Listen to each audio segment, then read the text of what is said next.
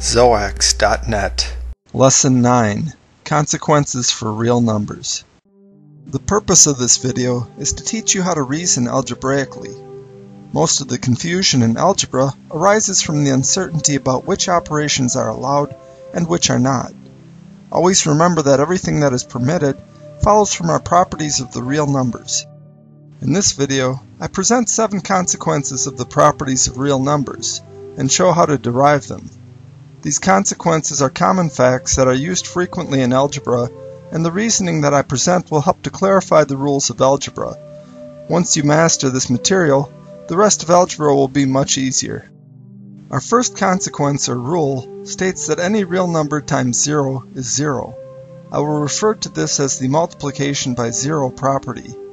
To derive this, we begin by using the additive identity to add 0. Then we use the property of additive inverses to replace 0 by a times 0 and its additive inverse. Next, associativity lets us regroup the terms. The distributive property allows us to factor out the a term. The additive identity allows us to replace 0 plus 0 by 0. Finally, the property of additive inverses allows us to replace this sum with 0. This proves that a times 0 is 0, and commutativity tells us that the product is true in the other direction too. I recommend going over all of the arguments in this video very carefully. Go to our reference page at xoax.net so you can take your time to read over and understand these proofs. I will go over the rest of the proofs somewhat quickly.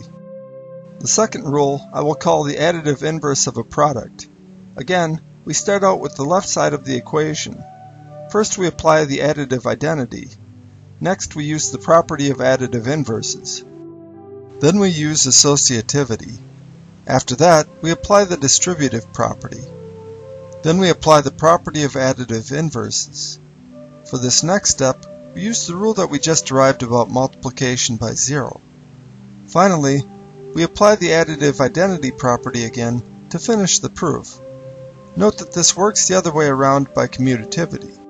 The third rule is called commutativity of inverses, since it involves interchanging the order of the multiplicative and additive inverses. First, we use additive identity. Next, we use additive inverses. Then we use the associative property, then the multiplicative identity. For the next step, we use multiplicative inverses. Then we use distributivity. Next, we apply the additive inverse of a product. This reduces to 1 by multiplicative inverses. Then this sum is 0 by additive inverses. Then this product is 0 by the multiplication by 0 property that we proved. Finally, the proof is completed via the additive identity. The next rule is called the additive inverse of a sum. We begin the proof by applying the additive identity. Next, we use additive inverses. Then we use additive associativity. Then we apply additive commutativity. After that, we use additive associativity again. Next, we use additive inverses. Then, the additive identity allows us to remove the zero. Another application of additive inverses allows us to write this as zero. Finally, the additive identity finishes the proof. The next rule is similar to the last one, but it involves multiplication. This is called the multiplicative inverse of a product. The proof involves the same steps, but for multiplication. We start with the multiplicative identity. Next, we use multiplicative inverses, then multiplicative commutativity.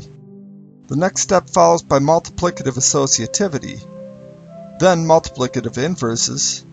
We eliminate the one via multiplicative identity. Then we use multiplicative inverses again. Finally, we finish off the proof with the multiplicative identity. The sixth rule is the additive inverse of an additive inverse. This begins with the additive identity. Next, we use additive inverses. Then we use additive associativity. After this, we use additive inverses again. Finally, we finish with the additive identity. The seventh rule is similar to the sixth. It is the multiplicative inverse of a multiplicative inverse. We begin with the multiplicative identity. Next, we use multiplicative inverses. Then we use multiplicative associativity. This is followed by multiplicative inverses, Finally, we finish with the multiplicative identity. That finishes the last rule and the last proof. All of this may seem difficult at this point, but learning these rules is essential to learning algebra. You should study the proofs on our reference page closely until you understand them.